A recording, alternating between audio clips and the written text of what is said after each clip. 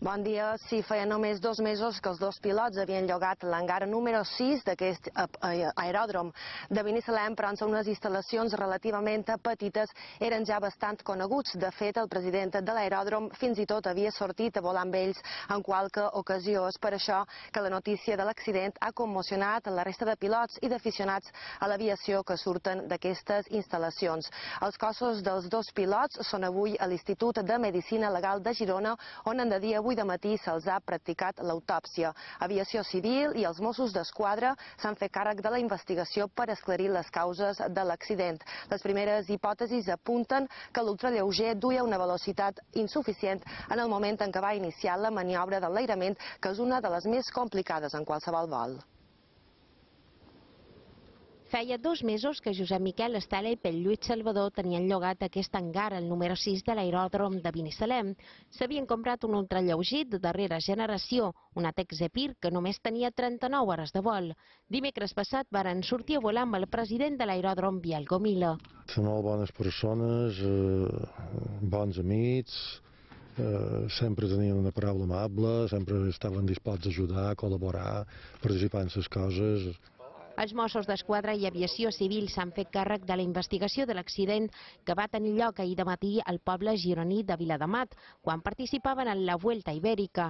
La hipòtesi principal és que l'aparell no duia la velocitat suficient quan intentaren enlairar-se i per això s'estavellaren contra una caseta.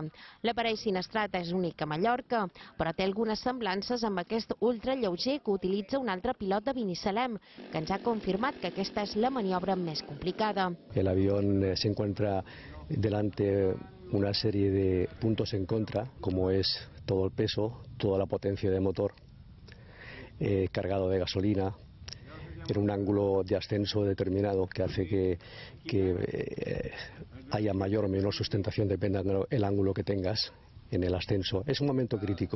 L'accident ha provocat una gran commoció entre els companys dels dos pilots. Tristesa, això és normal. En fi, dos companys que ens han deixat i no, no tornem a veure. Ara s'espera que finalitzi l'autòpsia dels dos cadàvers per poder repatriar els cossos a Mallorca. Miquel Estela i Pep Lluís Salvador compartien la passió per volar i des de fa uns mesos compartien també Aeronau. Aquestes imatges són del primer vol que feren plegats amb el seu Cefir 122 el mes de maig passat. Havien comprat aquest ultralleuger biplaça i el traslladaren des de Tarragona fins a l'aeròdrom de Binissalem, on el guardaven.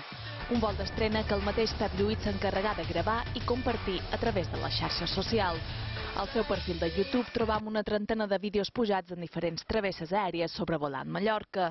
En total, suma més de 7.400 visualitzacions. El darrer vídeo és aquest, un recorregut a través de la serra de Tramuntana i la costa que va pujar a internet fa tan sols una setmana. Trobam també altres excursions per l'interior de Mallorca, com aquesta, en la qual sobrevolaven el santuari de Sant Salvador a Falanich. Pep Lluís Salvador combinava així dues grans aficions, l'aviació i la imatge.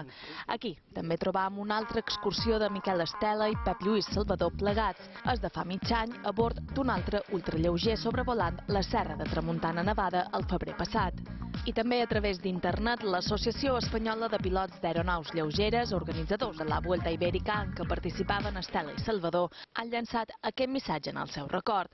Des de Castelló, on havien d'arribar els pilots mallorquins, asseguren que completaran el recorregut previst en el seu honor. Un dels dos pilots morts en l'accident era resident a Santa Maria del Camí, on era molt conegut entre els veïnats.